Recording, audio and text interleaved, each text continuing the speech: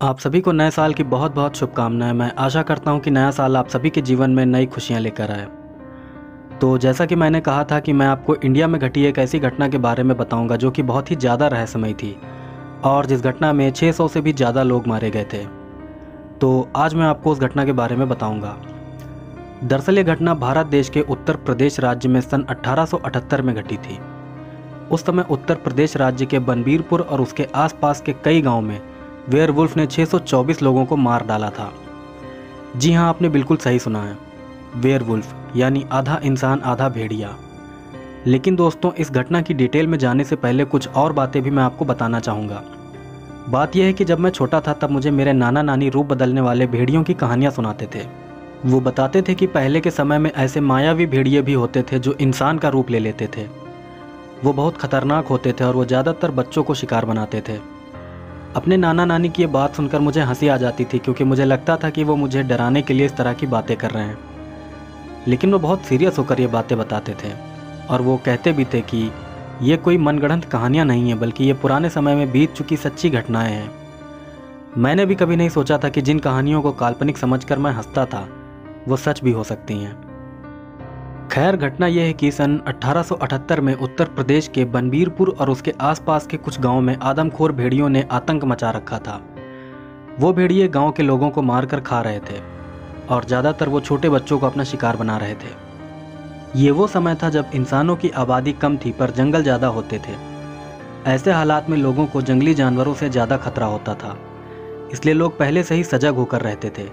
लेकिन जब सन 1878 में बनबीरपुर और उसके आसपास के इलाकों में आदमखोर भेड़ियों ने हमले करने शुरू किए, तब वहाँ के लोग बहुत ही ज़्यादा सावधानी बरतने लगे थे। गाँव के सभी आदमी रात भर लाठी डंडे लेकर पहरा देते थे और सभी औरतें बच्चों को पूरा दिन घर के अंदर ही रखती थीं। पर इतना सब करने के बाद भी आदमखोर भेड़िए गाँव के लोगों को अपना शिकार बना ही लेते थे।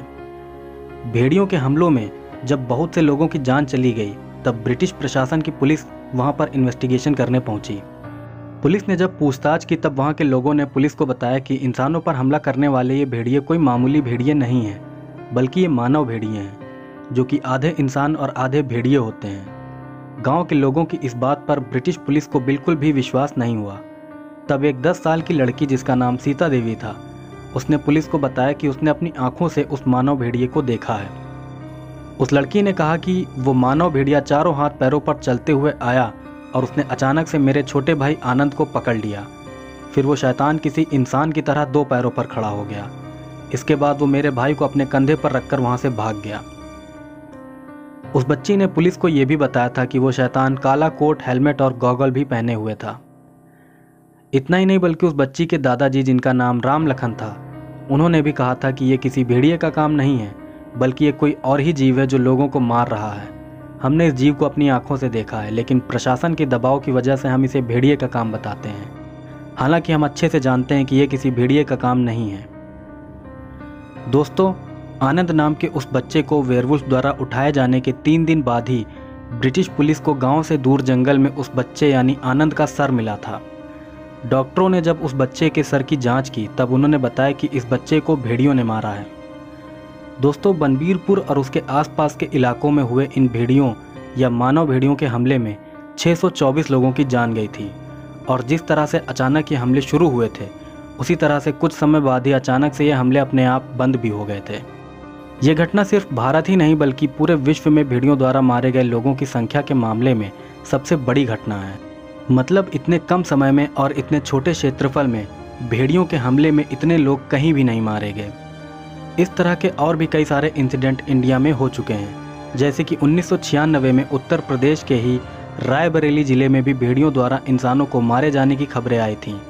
पर सोचने वाली बात यह है कि वहाँ के लोग इन हमलों का जिम्मेदार किसी भेड़िए को नहीं, बल्कि मानव भेड़िए, यानी कि वेयरवुल्फ को मान रहे थे। तो ये थी वेयरवुल्फ से जुड़ी रहस्यमय घटना जो इंडिया में घटी थी और जिसमें 624 लोग मारे गए थे। पर अब आते हैं मेन सवाल पर कि वेयरवुल सच में होते भी हैं या ये बस एक मिथ है? तो इस बात का जवाब ये है कि, देखो दोस्त, मैं कोई बहुत बड़ा ज्ञानी नहीं हूँ, जो इतने बड़े सवाल का सीधे सीधे हाँ या ना में जवाब दे दूँ। पर मैं आप लोगों को कुछ ऐसी रोचक बातें बता सकता हूँ, जिससे आप खुद इस बात का अंदाज़ा लगा सकते हैं कि ये जीव सच में हो सकता है या नहीं। बात यह है कि लोग वेयरवुल्फ को मूवीज़ या टीवी प्रोग्राम की वजह से जानते हैं। और ज़्यादातर लोग यही समझते हैं कि वेयरवुल्फ मॉडर्न टाइम में लोगों के इंटरटेनमेंट के लिए गढ़ा गया एक काल्पनिक जीव है। पर इंडिया में सन 1878 में घटी वेयरवुल्फ की घटना की तरह ही दुनिया भर में कई जगहों पर इस जीव को देखे जाने की घटनाएँ हो चुकी हैं। जैसे कि फ्रांस में सन सत्रह सौ चौंसठ से लेकर सन सत्रह सौ सड़सठ तक एक बहुत ही अजीब और ख़तरनाक जीव ने 102 लोगों को मार डाला था। जो लोग उस जीव के हमले से बच गए थे उन्होंने बताया था कि वो एक भेड़िया जैसा, पर बहुत ही बड़ा जीव था। वहाँ के लोगों का मानना था कि वो जीव एक वेयर है, जो रात में इंसान से भेड़िया बन जाता है और लोगों का शिकार करता है। उस रहस्यमय जीव को जीन चेस्टल नाम के एक शिकारी ने सिल्वर बुलेट, यानी कि चांदी की गोली से मार डाला था। इस समय स्क्रीन पर आप उस जीव की हाथ से बनी असली पेंटिंग देख सकते हैं। इसके अलावा सन उन्नीस सौ तिरानवे में अमेरिका के विस्कॉन्सिन में भी वेयरवुल्फ जैसे ही जीव को देखे जाने की बहुत सी घटनाएँ हो चुकी हैं। इस जीव को बीस्ट ऑफ़ ब्रे रोड के नाम से भी जाना जाता है। एक और बात मैं आपको बताना चाहूँगा कि अमेरिका के ही मिशिगन इलाके में दो पैरों पर चलने वाले बड़े से भेड़िए को भी देखे जाने की बहुत सी घटनाएँ हुई थी। उस जीव को वहाँ के लोग डॉग मैन कहते हैं। इतना ही नहीं बल्कि आज से 4000 साल पुराने एक लेख में भी वेयरवुल्फ जैसे ही जीव का ज़िक्र मिलता है। ये लेख मिट्टी की टैबलेट पर लिखा गया था। वो भी आज से 4000 साल पहले। इस लेख को द एपिक ऑफ़ गिलगमेश नाम से जाना जाता है। इस लेख पर लिखी किताब भी आप ऑनलाइन स्टोर से खरीद सकते हैं। दोस्तों, उत्तर प्रदेश के बनबीरपुर गाँव में वेयरवुल्फ से जुड़ी इस घटना के बारे में जानकारी मुझे द न्यूयॉर्क टाइम्स के एक आर्टिकल से मिली थी। द न्यूयॉर्क टाइम्स के उस आर्टिकल में वेयरवुल्फ से जुड़ी इस घटना के बारे में डिटेल में जानकारी दी गई थी। और अगर आप चाहें तो आप भी ये घटना इंटरनेट पर खोद सकते हैं।